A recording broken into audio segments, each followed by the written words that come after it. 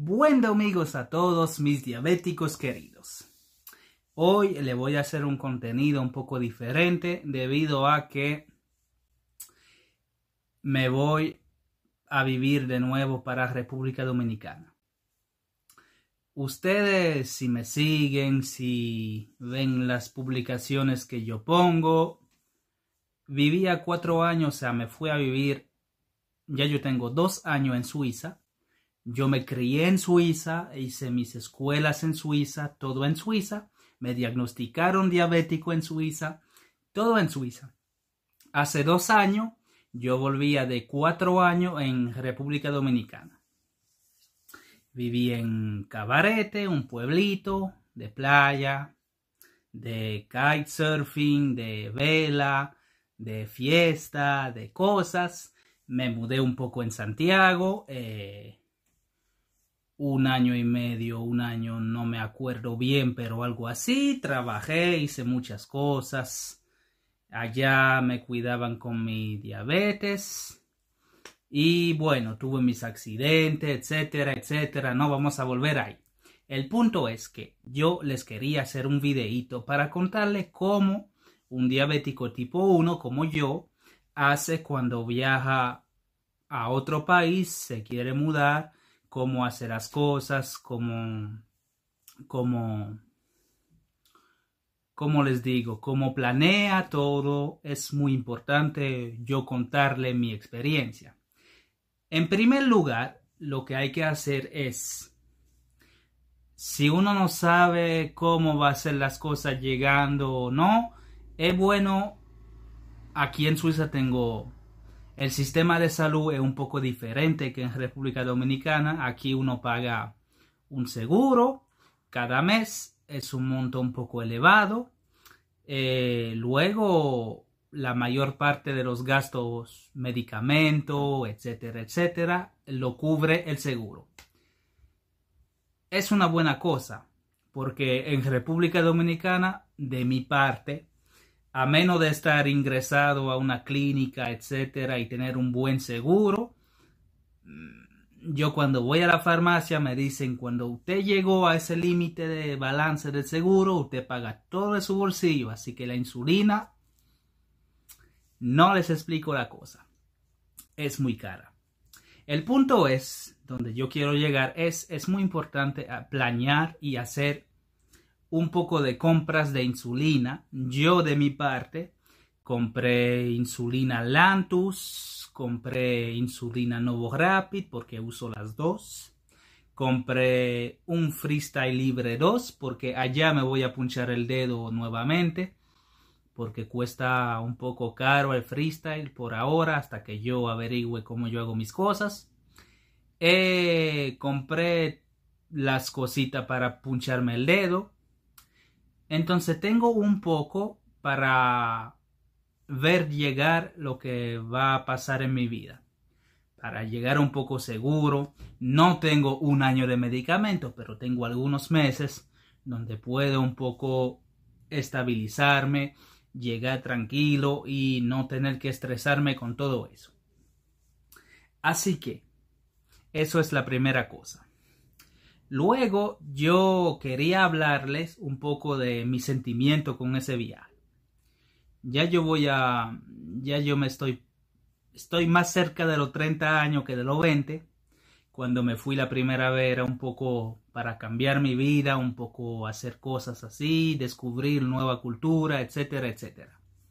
También hay que saber que yo nací allá, entonces solo era para acercarme un poco al país mío de nacimiento. Así que la primera vez fue un poco así, yo era un poco más joven, quería descubrir, experimentar y etcétera, etcétera. Ahora yo no le voy a yo no le voy a, negar ni mentir, es lo mismo, yo sé esa palabra, pero bueno, me estoy inventando un poco. no le voy a mentir. Eh, yo fui muy pensativo a la idea de volver allá. Lo primero quería volver porque yo aquí en Suiza tengo una vida un poco difícil, o sea, no tan difícil debido a que aquí está mi familia, aquí está mi sistema de salud y aunque aquí hay muchas cositas que no me gustan en Suiza, por ejemplo, el tiempo. Aquí no hay mucho sol como allá. Eh, la gente a veces están un poco más grises de eh, humor que allá. Y yo no sé, yo me siento como más feliz allá, más relajante. Aquí hay muchas cosas, mucho papel, mucho meneo. Y eso es el punto mío. Yo me siento un poco mejor allá, pero ese sistema de salud me estresa un poco. Yo estoy llegando a una etapa en mi vida donde yo pongo más las cosas seguras. O sea, yo estoy muy estresado por mi, mi futuro quiero hacer las cosas bien, quiero, no quiero perder mi tiempo. Ahora bien, yo compré un vuelo ido y compré un, vuelo de vuelta. En primer lugar, porque era un poco más barato comprar ida y vuelta que solamente ida. Y también así yo puse como seis meses de, de entre cuando yo llego y cuando tengo que regresar. Sí tengo que regresar. El punto no es regresar, pero en dado caso que no me vaya bien las cosas y que sea un poco difícil para mí, que no logre estar bien económicamente también, porque hay que trabajar, hay que hacer sus cosas, sus diligencias.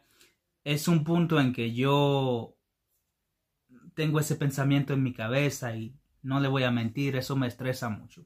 Ahora bien, mis medicamentos, le hablé de los medicamentos, le hablé de cómo me siento y también mi familia, mi... Claro, voy a extrañar mucho a mi familia. Es la única problemática que sea, vamos a decir, eh, importante en eso, pero también tengo que tratar de hacer mi vida y de hacer que las cosas me vayan bien. Mis amigos, también quiero agradecer a, todas las personas que me siguen aquí, la gente que me siguen en Instagram, le voy a poner mi canal ahí, o sea, mi página Instagram. Tengo un TikTok, yo no soy muy fuerte en TikTok, pero trato de poner algunos videitos ahí, le pongo mi TikTok ahí. Y bueno, es tengo mi página Facebook también, le puedo poner también mi página Facebook. Gracias a todos realmente por seguirme. Es, miren, ahora está mi gato, también ese lo voy a extrañar muchísimo. Eh, gracias por la cola, amigo. Discúlpame. Disculpa, disculpa, disculpa. Ese gato no entiende mucho. Entonces sí, gracias a todos por seguirme y a ti gracias nuevamente por la cola. yo realmente quiero hacer como... Yo quiero lograr a largo plazo tener una comunidad entre diabéticos donde podamos hablar de temas diferentes, de problemas, tener respuestas, algo bien hecho y yo voy a tratar de subir cada domingo mi, un videíto las cosas se hacen si se hacen y si no se hacen, bueno, yo lo intenté.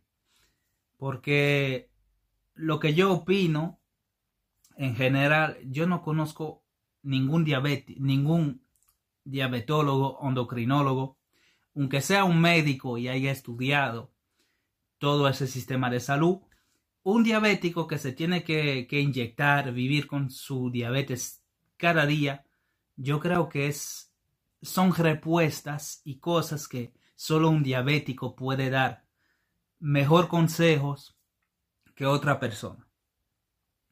Así que por eso es que yo tengo a corazón y me gusta subir videíto para ayudar a los que lo necesiten.